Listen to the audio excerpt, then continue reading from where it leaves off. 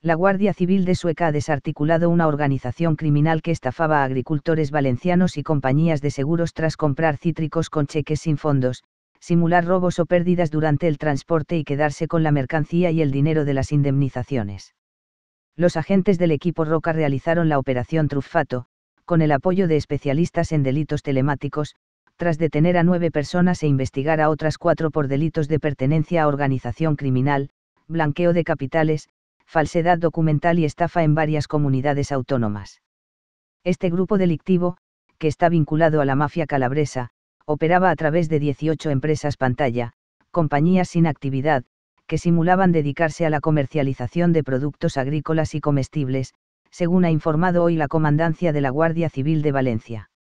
Los cabecillas de la banda acordaban un precio con propietarios de fincas de naranjos en Valencia y Castellón, pagaban con cheques sin fondo y se quedaban los cítricos.